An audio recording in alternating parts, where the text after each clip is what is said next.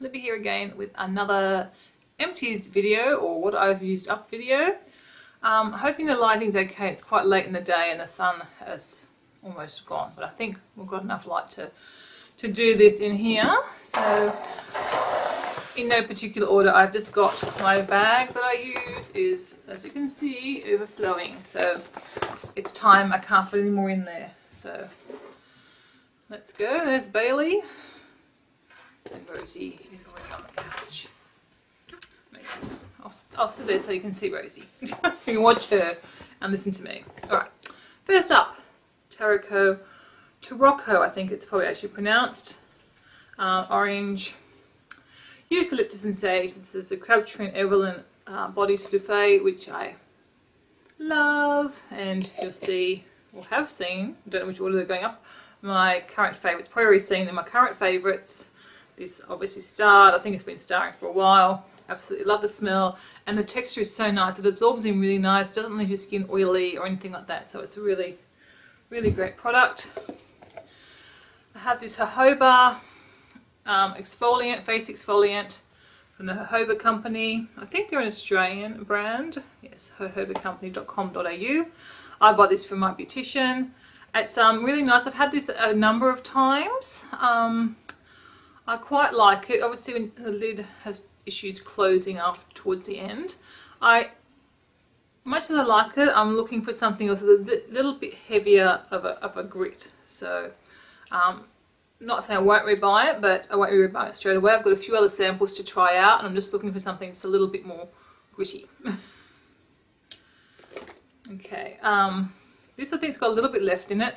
This is the Giovanni Shave Cream that I bought from iHerb and I was happy with this. Um, the thing I found annoying with it, you have to like put it on and let it sit for a few minutes before it's sort of activated and then you can shave. Um, yeah, says apply and smooth across skin, wait briefly to allow the ingredients to work, shave, rinse and refresh. And I was quite happy with it, but I've since found, um, as you will have seen in my current favourites, uh, uh, one I prefer a lot more than this one. So I think it's like it's down to there. I've used up most of it and I thought, well, I like the other one better. I wanted to start try the other one before I reordered like one of these or the other one, but I like the other one better, so I'm not going to bother finishing it off.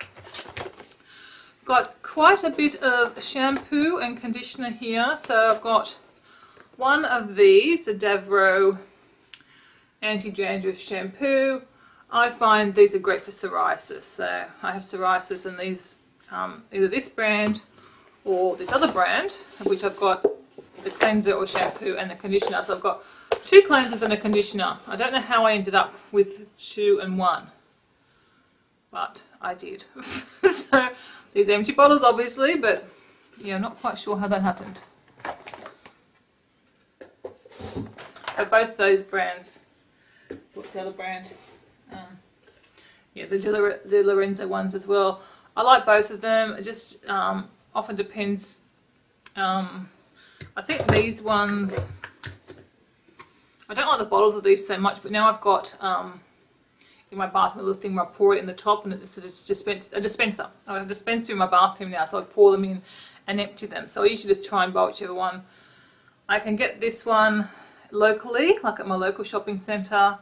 They don't sell this one, but this one's cheaper. So if I'm at a different place, at one of the other hair places, I'll try and usually get this one because it's just a bit cheaper. Both I find work really well because they're both of designed for scalp problems. I've got another body moisturizer. I'm just pulling out, so these are all over the place. So I've got another, this is another jojoba company one. This is a coconut citrus body souffle. Now this was bought for me quite a few years ago for my birthday, I think. The girls bought this for me, I believe. Or could have been a present from my beautician. I can't remember now. Actually, I think it was. You know, it was. It was a 40th birthday present from my beautician. And I've, I've actually just started recently trying to use it. And I've been, I didn't, I didn't like the smell so much. The smell's not great, so I never used it. And it was tucked away in a drawer. And I thought, I'll get it out and I'll use it. And I've been trying to use it. And I was looking at it again the other day saying, oh, I wonder if I should bother continuing. And then I saw the use by date on the back. Time to put it in the bin. so, anyway. Okay, so, oh, that shouldn't be in there. Okay, so we've got from Bath and Body Works, a Coconut Lime Breeze Shower Gel. Love this. Have another bottle put aside for when summer comes again, but yeah, pretty much finished off this over the summer. Oh, we so need Smellusion. Actually, I just finished off this one off this morning. Um, even though it's winter, I just wanted to, I only had like so much left, I thought I'll just, let's just get this finished. So I've been working on it for the last few weeks. But I've also been using my other smells, other scents and stuff too. So anyway, use that one up. So I'll use it a lot obviously over the summer. Very nice, love it. Glad I have got more. Okay, what I should have done is, um, okay, I think most of them are, a few, so this is the, the, um, the Gillette shaving cream I was using. Obviously now I've got the, um, Kiss, what's it called? The Kiss My Face one that I get from iHerb, so I won't be buying any of this. I'm so glad that I found a, a cruelty-free alternative that I think works better than this one anyway. So that's good. That was finished up. I'm just sort of separating a few things out as I go, a few sort of things I've given up on. Okay, I finished off this Crystal Essence deodorant and I'm working on another bottle already. Really, really like these. I get these again from iHerb. Um, they've got different smells. I think I've ordered, I'm using the same one again. I think I've got another scent as well.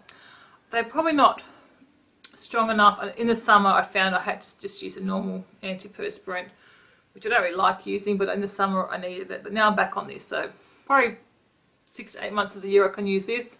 And then when those really stinky hot summer days, it just needs something a bit more. My favourite nail polish remover, it's just the Australis nail polish remover. It's cheap, it does the job, and being Australian I know it's cruelty free, so that's great. I finished off a Renew, I think that's how it's pronounced, Frangipani soap that um, it's made in Fiji. I think I bought it in Fiji, but I might not have, I'm not sure. That was nice. Um, a little Bath and Body Works PocketBac in Island Nectar. That was a nice one, I like that one. Mm. They're, all, they're all pretty good though. We have um, People for Plants uh, face hip oil, face hip oil, oh yeah, face, no, rose hip oil. for the face. I knew that sounded wrong. Uh, yes, face oil, which has got rosehip as one of the main ingredients. I liked it, but not as much as the Trilogy one. So I, I used it all up. Um, certified organic, so it's quite nice. I think with these, I always recommend just getting probably the one that they're not that different. I don't find some are slightly better than the others. So um, get whatever you can afford, really. I guess is. my recommendation when it comes to rosehip oil um, because this one might be 9 out of 10 if my favourite one, the Trilogy one, is 10 out of 10. They were all pretty good. I don't think I've used any rosehip oils and gone, oh, that's really not good. So some I prefer, better, prefer more than others. I sampled this Pel Pelactiv Hydrating Cream Cleanser. Uh, I got it in one of my sample boxes I can't remember it, like you know mm, it was just okay I wouldn't try and find it again what else we got we have an Aveeno daily moisturizing cream. That was just enough in that to do two barely two um, full body moistures. Full body moisturizers I don't know how want to say that. Um, not too bad but it's owned by Johnson & Johnson so it's not cruelty free. So I won't be buying more. Okay, my very favourite facial wipes is WotNot ones, which I buy from notoxbox.com.au. Um, often uh, organic shops will sell them as well. So, because they are organic, and I really like this. This was just a little sample pack of five, so I finished that off on holidays. Um, but yeah, I really, really like these. I've got the bigger packets as well. Love them. They're definitely the best facial wipes I have tried. Okay, a candle. This is a Bath and Body Works Watermelon Lemonade. And I think I might have finished off another one. I took the label off before I thought of putting it into my empties box. Oh, here we go. Here's another one. Um, oh, lemon. so I started to take the labels off. So that was a lemon one. Now that is the um, the white barn brand, but again it's from Bath and Body Works. Finish off those two. And we have a few dud products. So, or retirements, because they're probably so old it's not funny. I'm going to go and do a big go through, that's why I'm paying more attention to dates at the minute, because I've been watching a few videos on expiry dates of skincare and makeup. So the few I've already started to work on, so I just threw them straight in my bin. This is a lipstick from L'Occitane. Now I haven't used L'Occitane for about a year and a half now, since they decided they were going to sell in China. So that's um, and it's a bit dry and draggy now anyway. And this is an e.l.f. one that again I've had for a long time. You can see I've actually used up quite a lot of the product. It would have been bought probably three, over three years ago.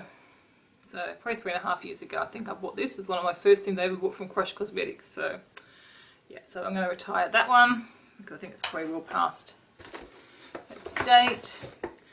This one I finished off was a sample. It was um, California Mango Hand and Body Lotion. There's a tiny bit left in it. I used it as a full body moisturizer. Smells smells nice, but I didn't really like the texture of it. It felt it took a long time to absorb into your skin. So maybe it would work better as a hand cream. I never actually tried it. Maybe I should try it as a hand cream since I've got a little bit left. Actually, the smell's not that great of it. I'm going to get a notebook and stick it in here so that when um, I finished a product, if it's not one I'm used to using, like particular samples, I can make a note. Yeah, it's it's not nice. It's not a nice texture. I mean, it's a natural hand and body lotion, but I don't like the texture. My hand's sticky now, so it's not a good hand cream. So, obviously won't be rebuying that. It's cruelty free, eco-friendly, paraben free, and a vegan formula, but I don't like that texture on my hand. Ugh. And another one I didn't like was this Seraphina Be Mine So Divine Hand Cream, made with organic ingredients. This is made in Australia. Again, I got this in a sample box. Tell me what it smells like. Don't it smells much. I didn't like the texture at all. I, I used it once and I thought, oh, I cannot, my hands feel so yucky after that one.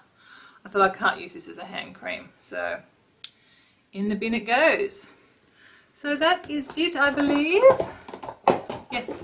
So that's it for my empties. Um, I seem to get, I'm sure it's not as long since I did the last empties as what it normally is, but as you can see, it's what I used up and now I can throw it all in the bin and um, start working on another one for you guys. So I hope you enjoy. Again, if you've got any questions about anything, let me know. Um, I've sort of tried to point out sort of where I got some things. If I haven't said, it's probably just pretty much available in Australia. Um, but again, if you've got any questions, let me know. And I'll um, talk to you next time. Goodbye.